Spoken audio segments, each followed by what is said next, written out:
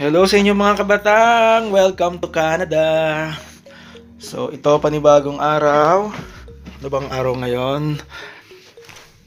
July 15 and it is Saturday. So, day off ko today. Ito, nagkape muna pagkagising. Uh, from 5.30 to 1.30 kasi yung duty ko kahapon. So, mahaba-habang pahinga. So, day off ako today. So, para sa kaalaman yung lahat, ang day off dito is 2 days every week palagi. So, mapa-private or government sector ka na nagwo-work is 2 days off ka. So, ito. Ngayon, ang dami ng tao dito sa area ko kasi karamihan day off. So, family day. Ito ang daming mga Indians to dumating sila dito tapos yan. Kasi itong area ko is tourist destination to. May pumpkin park dito. Yan. so ito yung breakfast ko. Cup noodles. Tsaka tsaa. Ayan. So yan saya dito. Work and life balance talagang pinopromote nila dito. So talagang may time yung bawat pamilya ditong makapag hangout kapag day off nila ayun ang saya nila. Ayan mga Indians sila. Ito. So ano bang topic natin for today? Ano nga ba? Ayun ang naglaba kagabi. Na dryer ko na siya pero medyo basa-basa pa kaya dito ko muna binilad. Medyo makalat ngayon yung yung kwarto ko Ayan. So, ang dali dito ng lahat. As in, para ka lang bumibili sa uh, sari-sari store ba?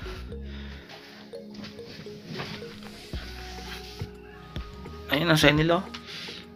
So, ibang iba talagang buhay dito sa Canada. So, pag-usapan natin kung ano ba yung ibig sabihin madali dito ang lahat. Ito, sandali lang. Ano nga bang ibig ko sabihin mabilis dito yung lahat? So, nung nasa UAE ako, nung time na nandun ako sa UAE, almost 10 years din ako doon. 6 days pa lang ako dito ha. Napakahirap ng lahat. What I mean to say mahirap is, uh, kunyari may gusto kang bilhin, kailangan may pera ka of course. And kung kailangan mo namang mag-loan, dapat yung sahod mo is may bracket sila. Dapat nasa 5,000 and above para makapag-loan ka.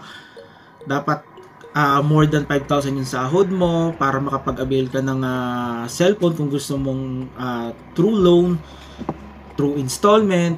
Pero dito pantay-pantay lahat.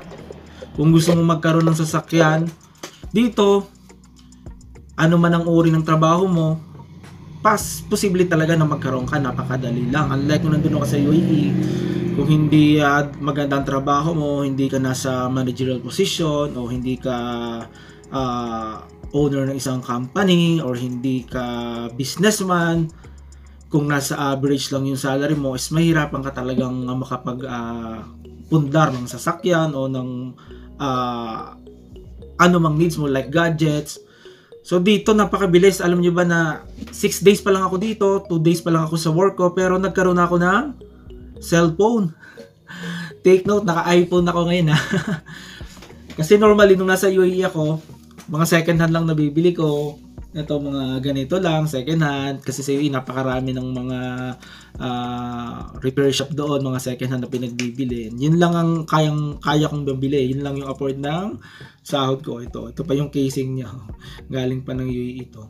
Pero dito sa Canada, napakabilis ng lahat.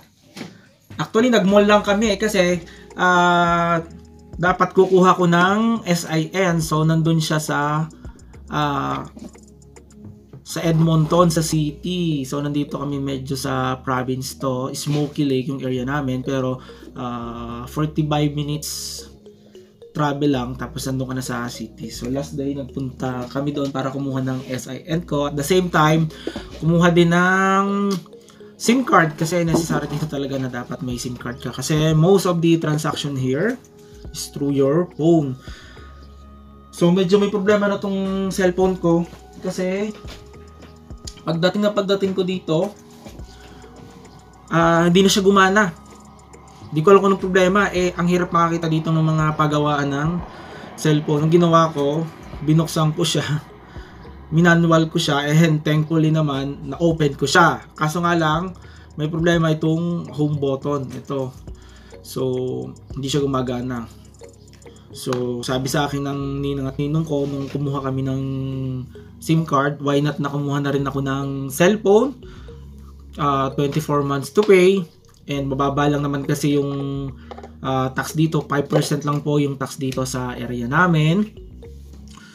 And nakapag-isip-isip nga ako. Sabi ko nga oo nga naman. Kasi necessary rin talaga na may cellphone ka dito. And wala pa rin akong sasakyan.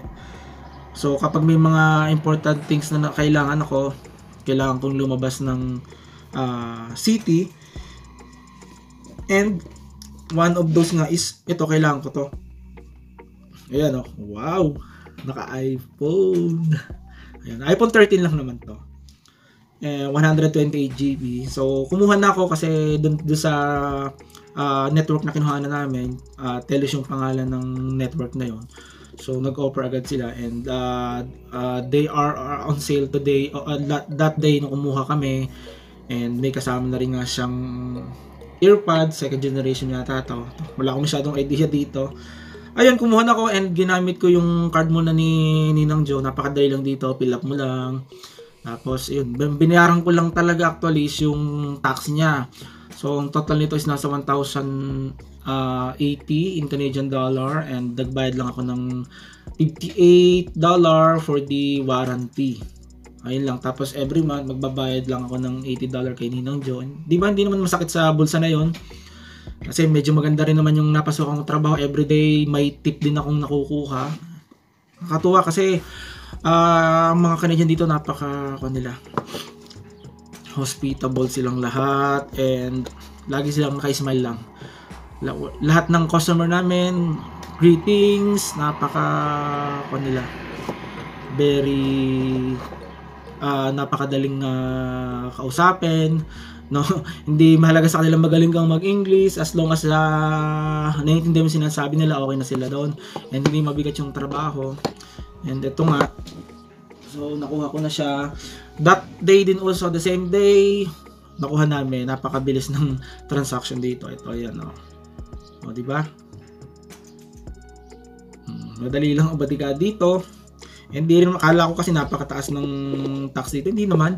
Kasi kahit nung namili ako sa grocery store dito, $30 yung cost, binayaran ko lang nasa 0.78 uh, cents, cents lang dollar yung binayaran ko as tax. So ganoon lang, kala ko mabigat hindi naman. And napaka peaceful ng lugar ko dito, napaka relaxing talagang nag enjoy ka while you are working. Hindi mo nararamdaman yung pressure, And talaga napaka sarap ditong uh, manirahan. Kasi nung unang dating ko dito, kala ko overpopulated na yung lugar, maraming matataas na building. Pero pagdating ko dito, yung mga bahay pantay-pantay lang, walang walang building actually, mga bahay lang talaga siya. And talagang may enjoy mo yung lugar na to. And very friendly yung mga tao dito lahat. So wala silang uh, lahat dito pantay-pantay. Ano man ang trabaho mo, uh, all the benefits you will take as the Canadian uh, people here na nakuha nila. Ganun din po yung makukuha mo. And talagang nag enjoy ako. Nag enjoy talaga ako dito sa lugar na to. Kaya, ayun lang, masasabi ko talagang uh, magaling ka lang dapat mag-ipon dito and uh, yung mga yung mga bagay na gusto mo madali mong makukuha dito. And syempre kailangan mo ring talagang uh, uh, i-balance kung ano yung needs mo sa wants mo. So unahin muna yung unahin muna yung needs bago yung wants. So nag-a-adjust pa rin naman ako ngayon but uh, ito nga napakabilis dito and pagtapos kong kumuha ng SIN number kumuha kami ng SIM card tapos kahapon kumuha naman ako ng uh, health card yun lang yung isang napansin ko dito na uh, lahat ikaw dapat yung mag-process ng mga documents. na kailangan. Unlike nung nando ko sa UAE, once na may employer ka na, sila lahat ang nag-aayos, sila lahat ang magpa-process, wala ka nang gagawin. And dito, kailangan mong talagang uh, maintindihan yung mga dapat mong kuhanin dito. And yun lang ang medyo mahirap kung pupunta ka dito mag-isa wala kang kakilala na talagang mag adjust ka. Pero mad- lahat naman natututunan di ba? Madali naman ng madali naman lahat matutunan. Yun nga lang iba pa rin talaga na mayroon kang kasama kasi medyo malalayo yung mga lugar dito kung saan kukunin yung mga documents na kailangan mo. Eh, yun talaga kung nag-adjust ka wala ka pa sa sasakyan, medyo mahi- medyo mahihirapan ka. Pero thankfully naman, meron akong ninong at ninong ditong talagang sila lagi nag mo sa akin kailangan mong kuhanin. Punta tayo sa ganitong lugar. Ayun. And uh, thank God. Tapos na ATM na lang din ang kulang ko. Uh, bukas. Ano? Sa Martes pupunta ako. Kasi ang ATM dito, dito lang sa baba ng building ko. Nagpa-schedule na ako. Kukuha ako ng uh, ah, ATM card. Kasi nga, syempre, doon ipapasok yung salary ko. And yun lang hindi hindi mahirap mamuhay dito sa Canada. Uh, magaan lang. So yung uh, siguro depende sa lugar kung bakit may mga matataas yung tax, marami silang binabayaran. And yung iba, mga napapanood ko sa vlog na uh, puro card, puro credit. Depende naman kasi sa kukuhanin mo yun. Ano ba yung ano ba yung kinukuha mo? Uh, needs mo ba yun or wants? siguro kaya marami kang nagiging utang sa credit mo kasi kahit mga unnecessary things kinukuha. Pero kung mag-focus ka lang sa needs mo muna, hindi naman siguro mahirap kahit uh, one job lang, ako nga isang trabaho lang, yung ninong isang job, isang trabaho lang. Pero nakaka-survive naman. Siguro yung iba lang talagang uh, maraming nagdo-double-double job. Uh, I cannot blame them. Siguro depende sa sa status nila dito nung pumunta sila dito, kung open work permit, ayun talaga, kakailanganin mo talaga ng uh, maghanap ng trabaho. Or depends depende pa rin sa iyo kasi uh, pwede ka naman mag full time kasi sa akin nga uh, working permit yung status ng visa ko. Kaya isang, isang job lang. Pero sa nakikita ko kaya naman kaya namang makasurvive kahit isang work mo lang. Depende lang talaga sa pagmamanage mo ng pera kung paano mo i-handle yung uh, pera mo dito. 'Di ba? Ganun lang naman 'yun.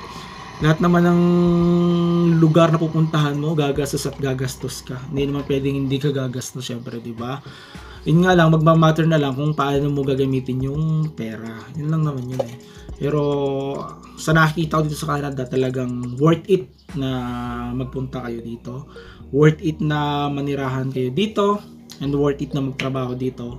No discrimination. Kahapon nga tuwang-tuwa ako eh. Uh, kumain kami sa Tim Hortons.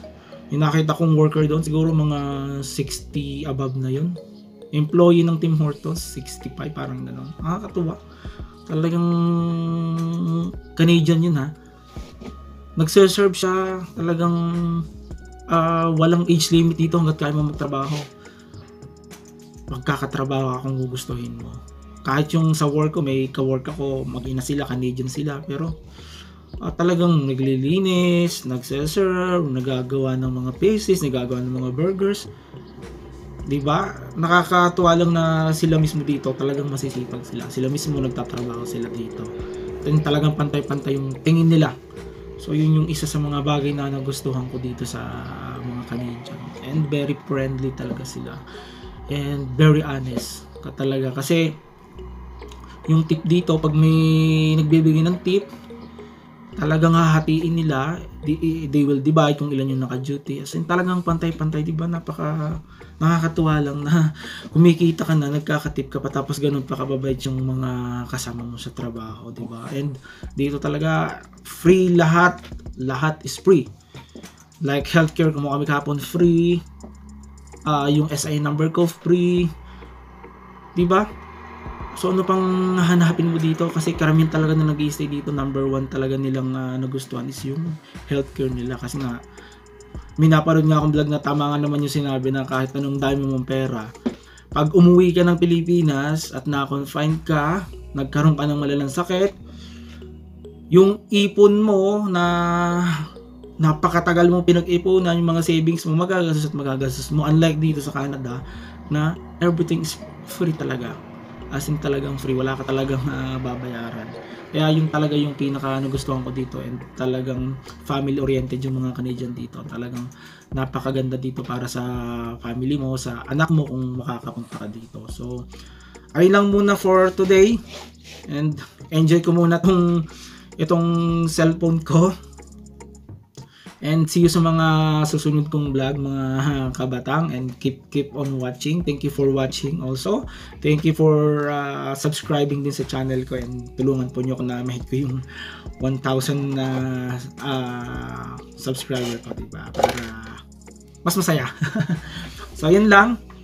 And see you on my next vlog mga kabatang. Thank you for watching. And I'm hoping na one day, yung gusto mong uh, makarating dito, yung pangarap mo makarating dito, magkakaroon niya ng katuparan, di ba? Everything, if it is God's plan, it will be done sa iyong buhay. So, God bless po sa inyo mga kabatang.